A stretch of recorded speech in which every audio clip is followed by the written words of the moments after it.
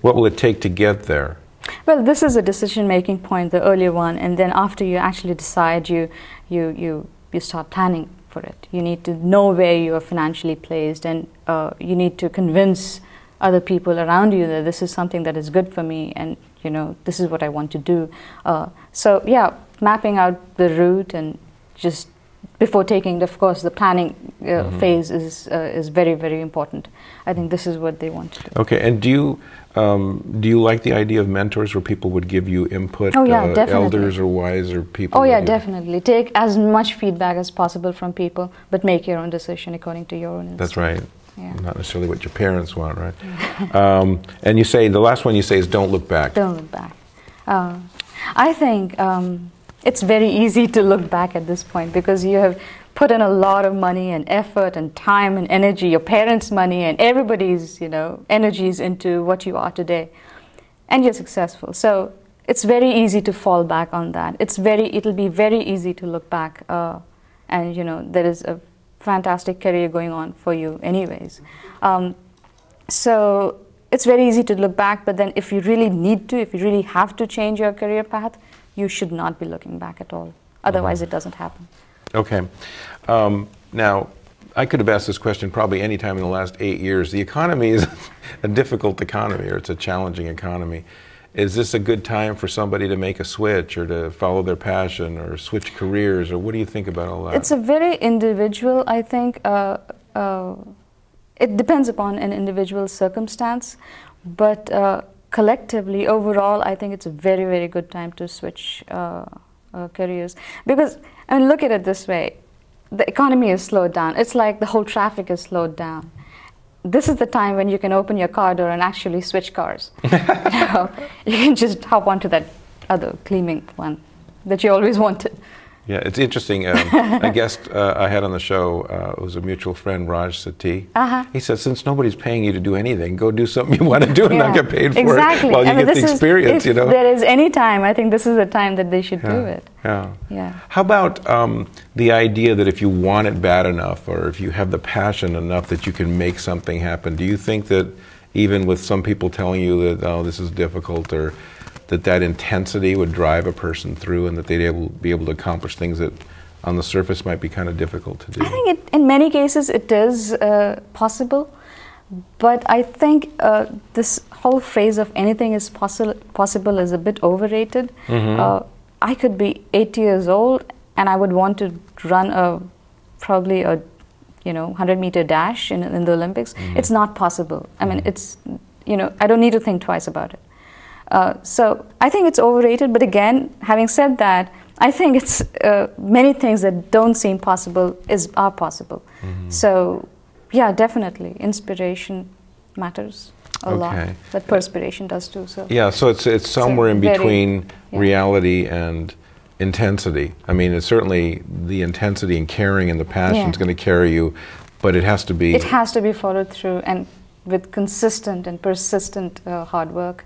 Okay. And smart work. Okay. Um, how about um, the person who um, already has a job and maybe it's kind of conventional and they're afraid to let go of it or whatever, but they're also thinking of starting their own business at the same time? Uh, do you have any thoughts about In that? In the Bay Area, I have met so many, many, many people who, who do this debating for years, but then there is a point when they actually take the leap because probably they think it's now or never. Mm-hmm. Uh, and because um, you need an ecosystem kind of a thing also to welcome that kind of a decision. Mm-hmm. Uh, in the absence of that, it's it's very difficult. But if it's there, then why not go for it? Say more Definitely. about what you mean by ecosystem. Ecosystem is uh, you have uh, companies and people and systems in place which welcome and entrepreneurship. Uh, you have funding in place, and you have many many options available in terms of as simple as advice from people who have been there and done that. Mm-hmm. It's all it's all there. If it's all there, then why not? Just go for it. Yeah, okay. definitely. Um, let's talk a little bit about the challenges you faced coming over here and starting your own business. Can you tell us a little bit about the human side of the things you faced and? I think adjusting here is very easy in the sense because uh, all the systems are in place in the U.S. Uh, uh, the main challenge that I can think of uh, is accessibility of people. Uh, coming What- what from, I think, in the sense, uh, this could be a cultural thing, but when I was in India, people were accessible. This is what I found. But here, with all the communication gadgets and gizmos that we have, uh, at that point, now I'm used to it. I know I can't change it, so I'm, I've gotten used to Mm-hmm. it. But people I found were not so accessible. Uh, You mean they were accessible electronically, but not person to person? Yes, definitely. And do you feel that that's where most business? Yes. Okay, Yeah. Yeah. So, uh, but there there were different ways of doing things here, which one has to learn. But of course, uh, once that is in place, uh, there is no stopping anybody. I think. Mhm. Um, that is one challenge that I faced. In terms of starting my own company, I think, um, well, the challenge, the one challenge that I faced was um, when you are working within a company, and this goes for anybody. Um, for myself, I was doing my own creative thing, creating ads and commercials and stuff. Uh, and I was supported by all these teams of people. There was the media, there was the marketing, sales, and planning, and all of these experts, very good at their jobs. And all these people worked together to support what I was doing, uh, and vice versa, of course. Um, when you start your own company, you, you, you, especially when the funding is kind of meager, uh, you start doing all of these things also. Uh, and of course, you're not going to be an expert. The learning curve is very, very steep.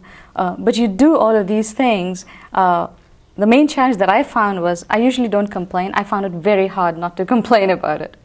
So, uh, so that was one thing. I Mm-hmm. Well, you think. had no or few coworkers as part of it, right? You're Yeah. kind of you're the boss. You're everything, right, right? right. And for someone who, for a job profile that requires you to actually stare at blank paper for three hours to come up with an idea, you need to look at data and you need to look at finances and you know sheets and full of numbers. It was pretty. Mm. wow. Um, you know, um, you uh, also have other passions. I know you've told me some of the other ones, and you have a child and all that. Can you talk a little bit about work-life balance? Because I'm sure running into a lot of people that are just devoting all their life to their work. And how have you navigated starting a company, starting a, a life? A and all the- yeah, can you talk not just the baby, but Yeah. that and your other interests? How you've been able to Right. strike? Because it seems like that's something a lot of people could learn Right. from. Not to, th- well, go ahead. I, uh, I words in your used to work like 18 hour days and I loved it. I used to love being with my colleagues and never go home and have a toothbrush in my drawer. I, I used to love that and uh, no complaints at all. But after a while, uh, uh, I realized there was more to life than just work and just creating ads and just shell- selling shampoos. Um, so uh, trekking was something that I really, really wanted to do. And it was all in my head. And as I said, I had a million dreams. So uh, I had to take that out of my head and actually start doing it. And uh, well, um, work has its place, but I thought I should take some time off. If it's now, it's never. Uh, take some time off to do other things as well. So yeah, um, other passions would be what I paint a little bit, Mm-hmm. and uh, I'm an outdoors person. So I love trekking, love going down the rivers, and I do take time off with my family. Did, did it affect your um, ability to do your job well? I think it, there's two things, right? Some people, they want to be around their colleagues and they want to be doing the project and all that. But for other people, um, the, everybody seems to be working at that level. And so to perform at that level, there's a pressure to stay longer. Were you able to make the transition but still be effective in your work? Or how did you find uh, way to I went through that initial grind of really, really putting in a lot of effort into my skill sets. And that was very, very early in my life. And the 1st probably eight to 10 years, uh, that, w- that was all I would do and nothing else. So if you go through that initial grind, you are very well trained to take on any challenge that comes in front of you. So once you do that, uh, things become easier a bit later on. Um, you know, you understand ideas, you understand change better, you understand concepts better, you understand new uh, technologies that come in. You, it's, it's a faster learning process uh, once you go through that grind. So that helped a lot, I think. So now, if the technology changes, or if, or if the industry changes, or the demands change, you, you adapt faster and you, you, you, you develop a smarter way of working, uh, and that helps you to open up your life in different other avenues and accommodate, you know, your other interests also into your life. Can you say a little more about working smarter, what that means? Did, that, did you have any sense of how you were able to do things more efficiently three, with three years experience that you, you didn't have before? Because that's something people could learn from um, some way of Working smarter would be actually understanding situations better, I think. Uh, instead of just going ahead and start doing things, you need to sit back and actually think and analyze See the problems. mountain, huh? See the mountain and see the peak, and you, you, you need to plan better. And for that, you need to sit back and think. Um, earlier, probably it wouldn't have been that way. It would be just doing, doing, doing. But that's not the solution to many, many, many problems. You need to think about it.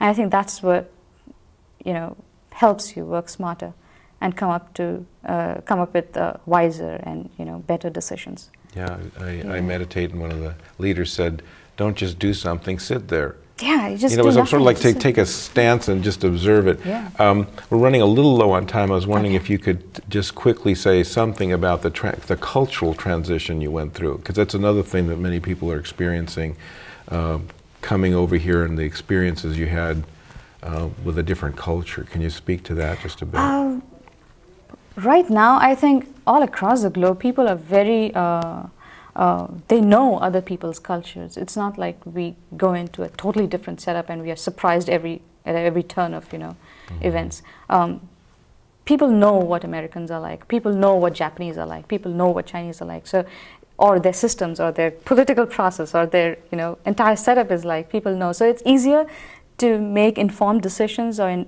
to, it's easier to adjust uh, in a much more informed way when you when you're prepared to, to know what to expect.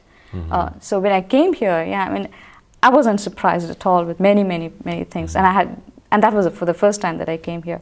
Um, there were very few surprises. so the world sort of shrunk with the Totally. internet and all the different ways of communicating. In terms of information, yes, and definitely. people moving around and Totally. So that made it a little simpler. So maybe Very it's not simple. quite as daunting as it might have been years and years ago. I'm sure. Yeah, definitely. Yeah. Well, you know what? We're out of time. so Ah, so fast. Well, yeah, we'll have to have you back and ask you a million other questions. Thank you Thank so you. much Thank for being so on the show. Great talking to you. And Wonderful. great luck following your passion. Oh yeah. Yeah. I'll continue doing it. Thanks for watching. You're hired. Uh, if you have any input for us about this show, suggestions for future shows, uh, feel free to contact me. Even questions about jobs and careers, feel free to contact me at steve at bayareacareercoach.com. Again, that's steve at bayareacareercoach.com. And do check out the website. You'll find the 12 keys to getting a great job. You can sign up for the free career newsletter. Also, find out about the career coaching I do. And you can also contact anybody who's ever been on this show because I list all the information there. So if they want to contact you, they can. And what's your website again? Mm-hmm. It's uh, kreativevistas.com, and creative is with a, with a K. with a K. And Yeah. Vistas is plural. It's plural. Yes. So that's all at www.bayareacareercoach.com. Again, it's www.bayareacareercoach.com. I thank you for watching and catch you next time on You're Hired. And you're already your own boss, so you're already hired.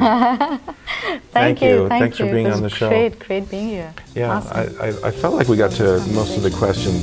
oh, we did. Um, okay. I mean, some of them were surprising. I wanted to get at that workaholic thing.